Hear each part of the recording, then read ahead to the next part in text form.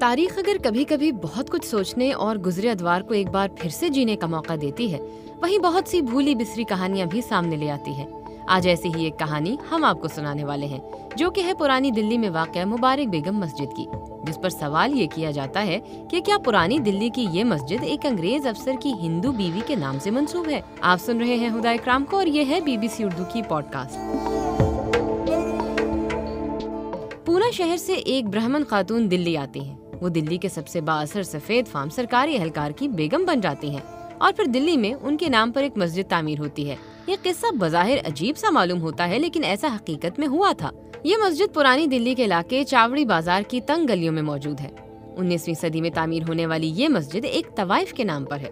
इसका असली नाम मुबारक बेगम की मस्जिद है। ये वाजे नहीं कि सन 1823 में तामीर होने वाली ये मस्जिद मुबारक बेगम ने बनवाई थी या उनकी याद में तामीर की गई। मस्जिद के मौलवी ने बीबीसी से बात करते हुए दावा किया कि ये मस्जिद मुबारक बेगम ने खुद तामीर करवाई थी। वो एक बहुत अच्छी खातून थी। मस्जिद किसने तामीर करवाई, ये अभी तक एक सवाल है, लेकिन ये बात यकीनन दुरुस्त है कि किसी तवाइफ की जानब से मस्जिद तामीर करवाना या उनके नाम पर मस्जिद तामीर होना कोई आम बात नहीं, जबकि उस जमाने में बादशाह, उनकी बीवियाँ या अशराफिया मस्जिद तामीर करवाते थे। ये बात वाजह है कि उस जमाने में मुबारक बेगम एक बड़ी शख्सियत थी। तारीख उनके बारे में ज़्यादा नहीं बताती, लेकिन जो भी तफसीलात मौजूद हैं, वो बहुत दिलचस्प हैं। उनका नाम मुबारक था और वो दिल्ली में रहती थी। वो एक मराठी थी और पूना से आई थी। कुछ जगहों पर उनका नाम चंपा आया है, लेकिन उसकी तस्दीक के लिए ज़्यादा जराए मौजूद नहीं है। सवाल ये है कि चंपा या जो भी उनका नाम था, किस तरह मुबारक बेगम बनी?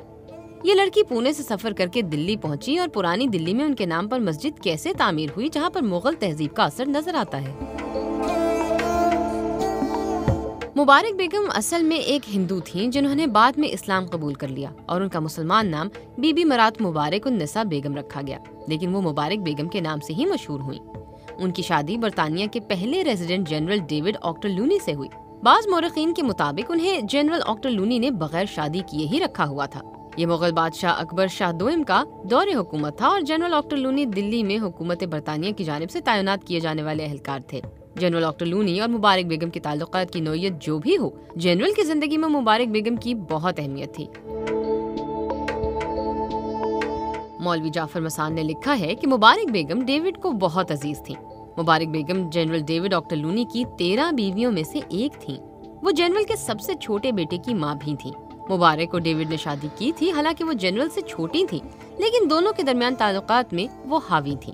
इसीलिए जनरल ने मुबारक बेगम से होने वाले अपने बच्चों की तरबियत मुसलमान अंदाज से करने का फैसला किया। दिल्ली यूनिवर्सिटी में तारीख के प्रोफेसर अनिरुद्ध देश पांडे कहते हैं, बरतानवी और मुगल हलकों दोनों में मुबारक बेगम से नफरत की जाती थी। मुबारक बेगम अपने आप को लेडी ऑक्टलूनी कहलवाती थी, जो अंग्रेज़ों को पसंद नहीं था, और वो अपने आप को कुदसिया बेगम शहनशाह की माँ भी कहलवाती थी जो मुगलों को पसंद नहीं था। जनरल डॉक्टर लूनी ने एक पाक तामीर करवाकर उसका नाम मुबारक बाग रख दिया। मुगल उस बाग में जाना पसंद नहीं करते थे। वो अपने असूलों के मुताबिक ज़िंदगी गुजारती थी।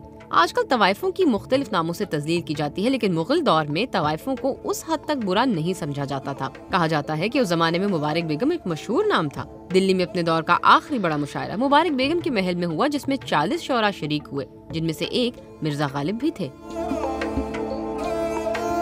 अनिरुद्ध देश पांडे कहते हैं कि दिल्ली में अपने क्याम के दौरान जनरल डॉक्टर लूनी ने मुकम्मल तौर पर मुगलों की तहजीब सकाफत को अपना लिया था, इसलिए उन्हें सफ़ेद फार्म मुगल कहा जाने लगा।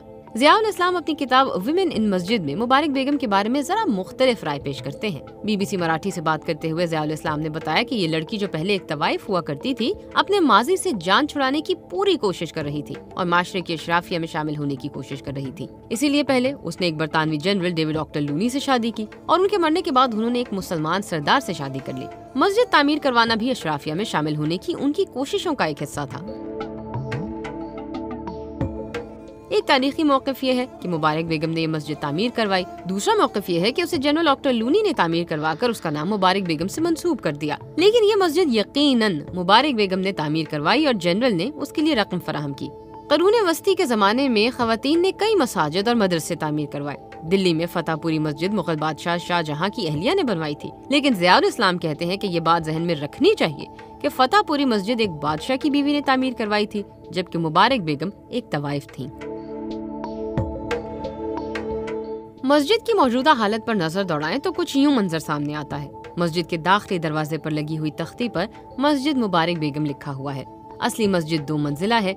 जमीनी हिस्सा एक तरह का प्लेटफॉर्म बन गया है और वहाँ दुकानें हैं। मस्जिद के दाखिले दरवाजे की तरफ़ जाने के लिए एक तंग गली से गुजरना पड़ता है। पहली मंजिल पर मस्जिद कायम है।